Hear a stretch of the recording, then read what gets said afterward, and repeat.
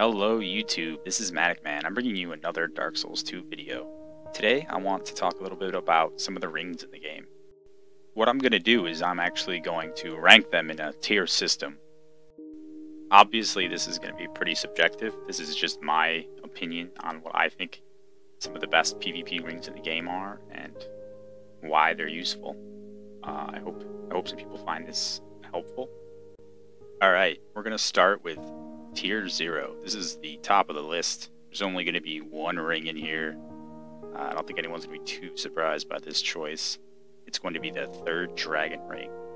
The third Dragon Ring is quite powerful. It's kind of like the new Ring of Favor and Protection, I believe it was called, in the first game. Uh, the Dragon Ring increases your HP by 7.5%, increases your stamina by 12.5%, and increases your maximum load by 12.5%. It's like a slightly worse life ring plus two and a slightly worse soldier ring plus two uh, put into the same ring and then also given a stamina percent increase. So it's very powerful. I don't think there's one PvP build that I've ever made where I didn't want that ring on that PvP build. Uh, that's just how good it is. As far as I know, it's the only item in the game that gives you uh, more stamina which is incredibly powerful. Maybe Velstadt's helm does, but if it does, it's only one, which is nothing compared to the ring. Next up is Tier 1. It is composed of Gower's Ring of Protection, Illusory Ring of a Conqueror, and Illusory Ring of the Exalted. These three rings are in this tier because I think they are incredibly powerful, especially if you quote unquote abuse them in PvP. For example, Gower's Ring of Protection prevents you from getting backstabbed, and it also prevents any damage that you take from behind. And you can take up to five different attacks until it eventually will break and then become useless. But until that happens, you can easily abuse its power, especially in PvP. Uh, one great example is in the Brotherhood of Blood Arena.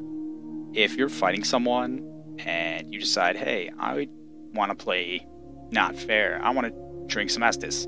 You can easily unlock, spin around, drink the Estus, and it's pretty impossible for them to punish you for doing such a thing.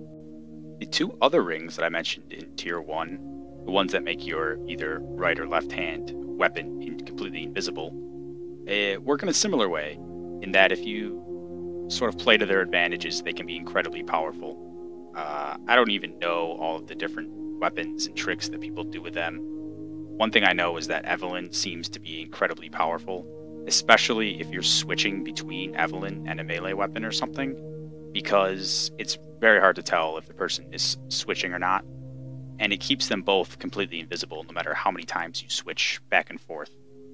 Alright, it's time for Tier 2. This is really going to be the meat and the bones of what I think are the PvP rings.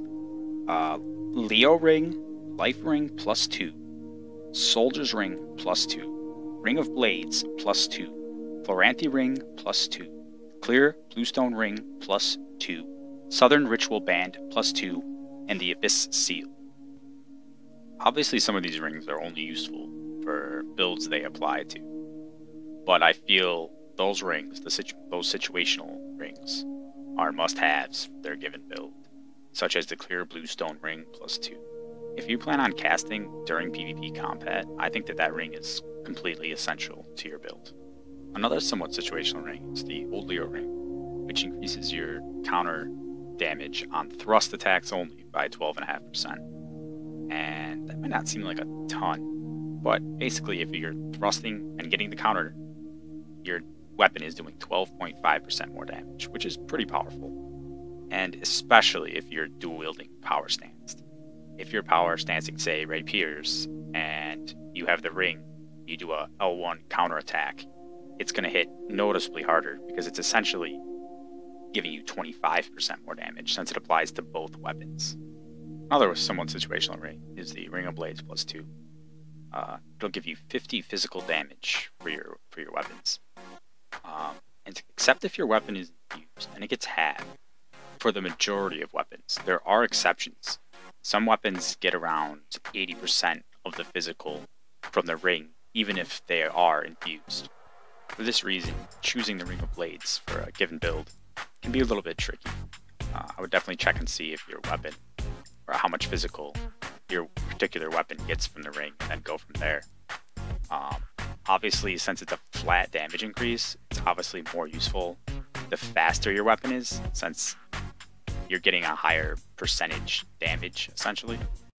The next situational ring is the Abyss Uh, gives you 20% more damage on your hexes at the cost of 30 life per cast, which I think is rather irrelevant. Um, I think this ring is incredibly powerful if you're planning on cast casting hexes. Next up is the Southern Ritual Band. Uh, this ring gives you three attunement slots just for putting it on.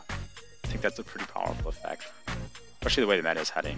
Uh, there's a ton of people that are using weapon buffs, or maybe like one offensive spell, and a ring that gives you three slots for no investment just seems incredibly useful, especially if you're almost a melee focused build that just wants a few slots. You can get three without any stat investment. I think that's very useful. One thing I've noticed too is that damage seems very high in this game. What I mean by that is spells and even certain weapons just do a ton of damage. For example, daggers, backstab, and guard break, they do a ton of damage. Even verbose do a ton of damage. I think they do a little less guard breaks and backstabs, but that's not that's not the point. They still do a ton of damage. So I think having some more health can hopefully you can survive a little bit longer in fights and you can make a few more mistakes. Next up is the Soldier's Ring. This ring is quite good if you're going more tanky build. If you have your vitality up pretty high, uh, it's going to give you a ton more equip load because it's percentage based. Give you 20% more equip load. So I think this is completely essential if you want to wear heavy armor. And I'd probably save the best ring for last. The Chloranthy ring plus 2 is very useful. It gives you 25% increased stamina, regeneration, speed. It's kind of a mouthful. But yeah, it basically makes your stamina bar regenerate 25% faster. Uh, this is very, very, very useful PvP. Stamina is essential. It lets you tag, lets you block, lets you roll, lets you parry, etc., etc., etc. Having yours recharge faster than your opponent's is an obvious advantage in a PvP situation. Well, I guess it's time for Tier 3. Tier 3 is all of the rings that give the different elements and spell resist Stone Ring, Giant's Ring, Ring of Steel Protection, the Bluestone Ring, Thorn Ring, and Sun Ring. Yeah, I don't think any of these rings are going to get me out of bed in the morning. But Sun Ring can be useful, I guess, if you're worried about stun locks. Same with the Ring of Thorns. I think those two rings just got nerfed a little bit hard, which is probably good. They were pretty overpowered when the game first came out. Bluestone Ring, I, I feel like that might be really useful on a super tanky build. Stone Ring increases your weapon's poise damage by 10. I just haven't really found a great use for this. There's still some confusion on exactly what poise does. I know it gives hyper armor. Um, but again, do I want to spend a ring slot to try to get my opponent to not have hyper armor? I just seem it just seems a little. Uh, if anyone disagrees with me, please let me know in the comments below. I would love to start a discussion about these rings and maybe have some of them have some weird uses that I just haven't found yet. As far as I'm concerned, the Giant's Ring is in the same category as the Stone Ring. The plus 2 version of the Giant's Ring gives you 30 poise. I'm just not too sure how useful that is. Alright, it's time for the last tier. This video is dragging on. Tier 4 is going to be the Red Tearstone Ring. All of the Covenant rings that give you damage to particular schools of spells, besides the Abyss Ring, obviously, and then the Ring of Prayer, and then the Ring of Knowledge. Ultimately, I just don't think any of these rings are really worth one of your ring slots in PvP. You can either level up stats to make up for not having the ring and use a ring that's more beneficial. And now some odds and ends. The Bleed Ring, the Poison Ring, and the Vanquisher's Seal, which increases your fist's damage. Obviously all these rings are very good if you build those builds, but if you're not going a particular build, they're kind of awful. Thank you so much for watching, I really appreciate it. Uh, please start some discussions in the comments below. That would be awesome. I hope you found this helpful and or interesting. Uh, yeah, thanks again for watching. If you enjoyed it, please feel free to subscribe to my channel.